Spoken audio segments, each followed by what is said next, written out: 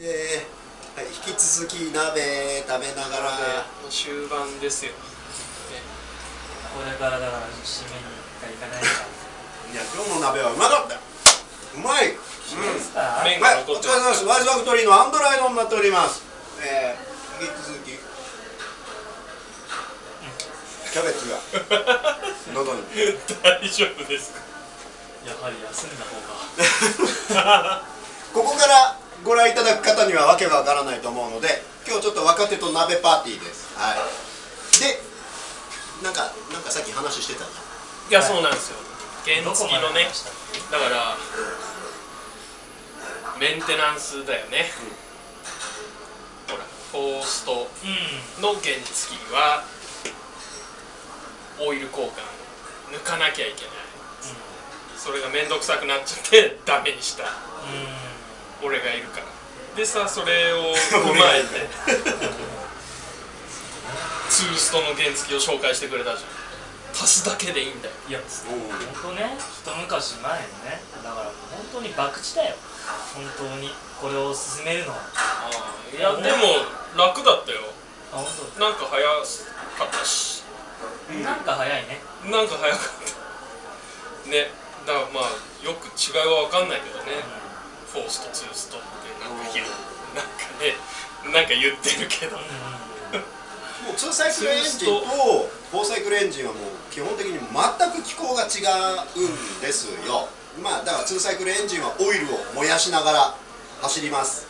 そのうんその燃やす時に、えーピストンとか、まあ、金属の潤滑とか冷却なんかを燃えるオイルが、えー分担するので結構ね2サイクルエンジンに求められるオイルの性能っていうのはねハードなものなんですよ。だからなるべくいいオイルを使ってもらいたいんだけど。オイルが燃えて動いて。うん。ガソリンは何をしてガソリン？ガソリンの？あのだから要するにピストンの中とシリンダーの中で圧縮された燃料の中に気化された空気とガソリンが混ざったものとそこに同時にオイルもああうんされてるわけ。混ざってうん。でそのオイルがあのピストンとか金属が焼き付かないようにだからもうオイルもバンバン燃料と一緒に送り込んでそれが、えー正確に言えば、えー冷却も分担してるしあの潤滑もね分担してるしというような形で。ただそのオイルの燃えかすっていうのは表に出すわけですよ。これが環境によろしくないということで2サイクルエンジンが作れなくなった。と、あで改めてできたのがフォーストだまあ、改めてというか昔からあったけどね。これからえコーストはオイルは燃やさない？オイルを燃やさない。何のためのオイル？潤滑循です。環させでも単純にピストンとシリンダーの関係っていうのはものすごいんですよ。高温になる。オイルが入ってないと金属同士がもう焼結してしまうのであはいはいはい。オイルをトゥルルンっつって滑りを良くしてあげる。でオイルっていうのはその潤滑と冷却を、まあはい。正確に言えば冷却まで担当してるなんだけどただやっぱりね数パーセントずつそのオイル燃やしてませんよって言ってもあ数パーセントずつエンジンの中で燃やしたりとかして減ることはあります。うん。ひどくなってくると4サイクルエンジンでもオイルが減るなんて言うんだけどそれはもうエンジンの末期症状。あ減っちゃもうアウ,、うんアウト基本的には減らない。ただやっぱりでもね原理的にあのどうしても数パーセントずつは燃やしていくものなのでで燃えていくものっていうことだとそのガソリンなんかの燃えたカスなんかもエンジンオイルに取り込んでいくのであ汚れるんですよ。あそれを変えてほしいのね4サイクルエンジンっていうの。はどうしても汚れてそれ見たことあるわ。下から抜いてあ真っ黒だとかっていうのは。もちろんそれに対しての用語とかがあだから前に俺も動画で撮ったことあるんだけどオイル交換のベストな時期っていつですかって言われて、まあちょっと質問に答えた動画があるんだけどただねベストな時期なんてないわけオイル交換に関して言えば。あのどんどん汚れていくものに対してそんなもんじゃあベストがあるんだとしたら乗ったら変えてください。あただでもそういうわけにはいかないでしょ。そうですね。うん。だからそうなるとベターの話しかできないわけ、ーだもう長く乗りたい人はこまめに変えてくださいって言うしかないしあの別に1年2年もうちゃんいいんだよなっていう人だったら壊れるまで変えなくてもいいですよっていう話になるから、無限に乗れよ。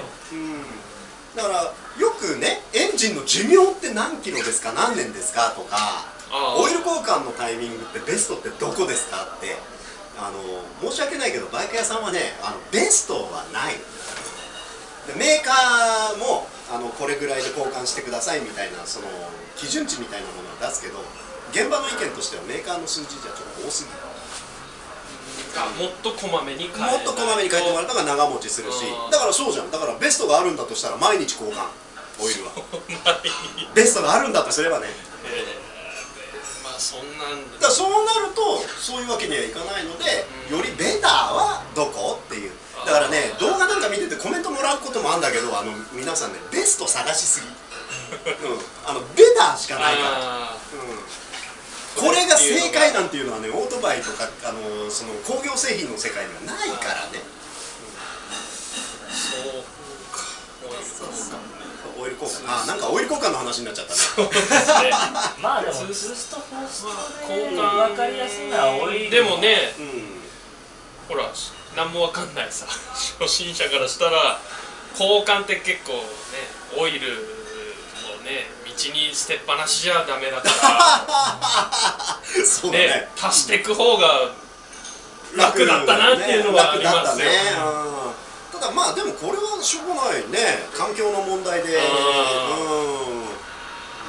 そのツーサイクルエンジンの良さっていうのはね同じ排気量でもパワーが出せるんですよ。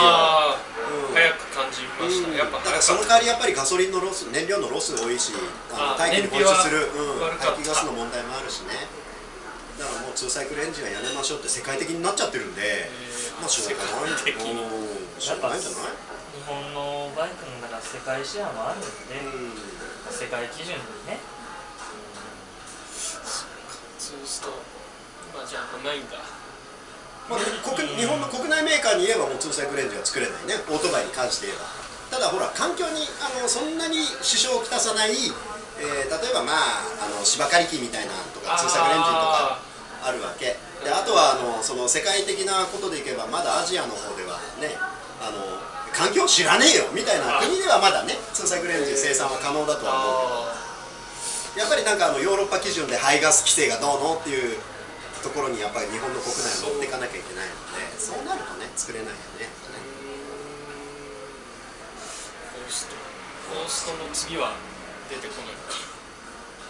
次は電気でしょ。電気か、オートバイのね、ガソリンじゃなくなっちゃう。うん、モーターで、っていうことじゃないかな。だから今なんかテレビの番組とかに出てた原付きで。充電充電のうん。あるねテレビ。あれだからやっぱりその電気使っていこうよ、ね、電気はモーター回してかエンジンが